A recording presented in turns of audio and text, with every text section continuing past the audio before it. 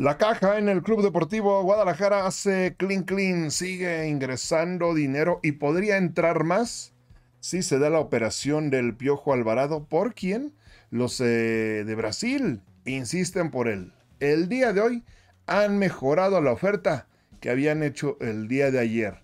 Vamos a platicar de esos temas. Bienvenidos a la Nación Chiva. Gracias por estar con nosotros.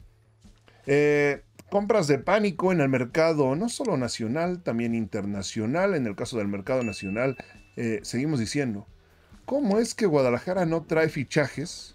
Nos dicen que no los venden, pero ayer se acaba de dar el fichaje de Ambriz, jugador que supuestamente León no vendía más que al extranjero. Y bueno, en estos eh, movimientos también se da uno que benefició al Guadalajara, que es el de Uriel Antuna. Por eso les decía, compras de pánico hay equipos que, de verdad, si se quiere comprar jugadores, se puede. Aquí el único asunto es pagarlos, cosa que la directiva del Guadalajara ha decidido no hacer. Hace ofrecimientos económicos o ha hecho ofrecimientos económicos por determinados jugadores. Cuando el, otro equipo les dicen, me estás dando, me estás eh, pagando poco, ponle más, el Guadalajara se retira el mercado de fichajes sigue abierto. Eso también es algo que nos han estado preguntando en los eh, diferentes videos. Sigue abierto para el mercado, digamos, internacional. Sabemos la política del Guadalajara, únicamente jugadores mexicanos, así que, pues eh, por ahora podría únicamente traer jugadores, por ejemplo, del mercado de Estados Unidos. De Europa es difícil, de verdad. Aquí vamos a traer de Europa. Hay muy pocos y los que hay seguramente no está en sus planes venir a, México, así que solamente quedan nombres como eh, Diego Luna y el que me quieran decir de allá de la MLS, que de verdad es que no se ve, no se ve ninguna intención por parte de la directiva de este rebaño sagrado pagar por estos eh, jugadores. La fecha es el 14 eh, de septiembre todavía una fecha límite para poder traer eh, futbolistas al rebaño sagrado. Es ese 14 de septiembre. Por ahora ya no se pueden comprar jugadores que estén en el mercado mexicano. ¿eh? Ya no.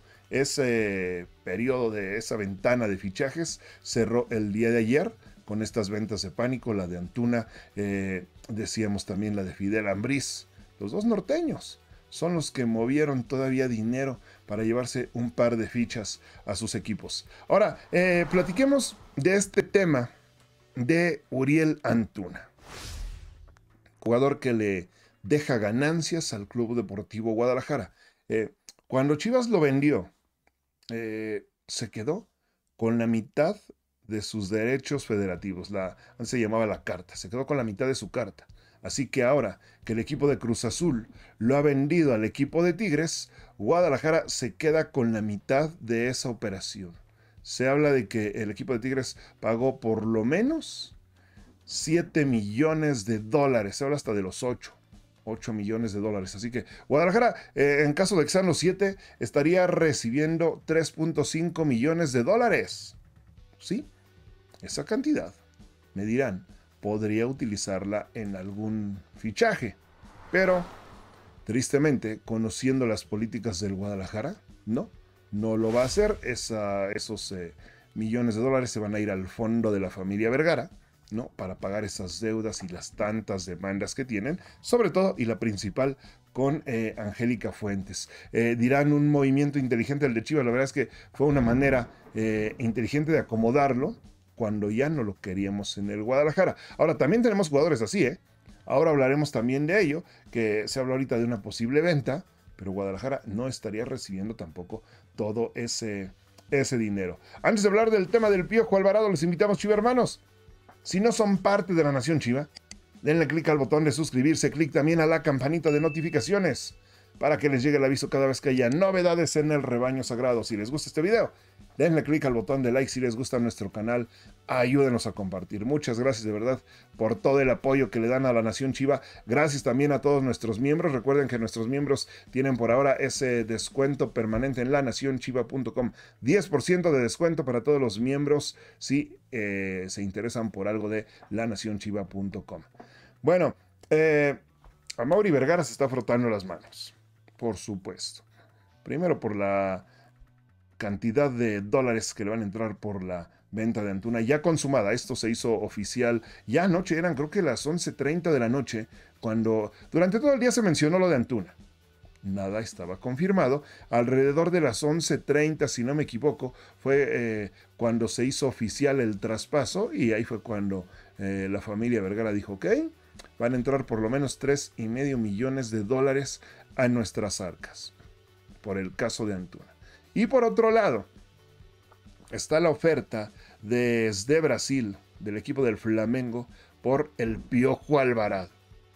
Ayer hicieron una, una propuesta, eh, dijeron en el Guadalajara, no, no gracias, no me interesa vender a, a mi Piojito Alvarado, pero, pero, de inmediato los de Brasil subieron la oferta. Sí, ahora han ofrecido 6 millones y medio de dólares por el Piojo Alvarado, más 2 millones en variables, rendimiento, posible venta a otro fútbol. Eh, y de inmediato, por supuesto, que ahí la familia Vergara está procesando la idea. Porque eh, también hay que aclarar algo. De estos 6, 8 millones de dólares eh, que pudiera pagar el equipo brasileño por el piojo, ojo con esto tampoco entraría todo para las Chivas, porque, así como Guadalajara le vendió nada más la mitad de los derechos a Cruz Azul de Antuna, en ese intercambio, cuando llegó el Piojo Alvarado, fue la misma operación. El equipo de Cruz Azul es dueño de la mitad del Piojo Alvarado. Así que, sea la cantidad en la que vaya a quedar esta operación o pueda quedar esta operación, no todo ese dinero será para Guadalajara, la mitad sería para Cruz Azul, la otra mitad para las Chivas. Ahora, si estamos hablando de seis y medio, eh, pues digan, por lo menos otros tres para las Chivas, otros tres milloncitos. Y en estos días el Guadalajara estaría ganando 6 millones de dólares. ¿Y qué haría con ellos? Esa es la pregunta, ¿no? ¿Qué haría con ese dinero? Seguramente no lo reinvertiría en el equipo. Me parecería un terrible error que dejaran ir al Piojo Alvarado. Sin embargo, habrá un momento y habrá una cantidad eh, a la que el Guadalajara no podrá decir que no. ¿eh? Yo, opinión personal, no creo que lo vendan. Pero el equipo brasileño quiere sí o sí a la de ya al Piojo Alvarado. Viene una tercera propuesta. Esta eh, segunda propuesta también ya fue rechazada por parte de Guadalajara. Le dijo no a los 6.5 más esos 2 millones en variables. Ya Chivas dijo que no. El Flamengo analiza todavía dar un golpe más y hacer una nueva oferta por Alvarado. ¿Lo venderán o no? ¿Mi opinión? Yo creo que no. Pero, conociendo la economía del Guadalajara, de verdad Creo que ellos sí lo están pensando. Más tarde, transmisión en vivo, Chivo Hermanos, a las 9 de la noche. Así que por ahora es todo. Gracias por vernos. Volvemos al rato a las 9 de la noche al video en vivo de la Nación Chiva. Si te gustó este video, ayúdanos a compartirlo. Gracias por seguir en nuestro canal. Si no estás suscrito, suscríbete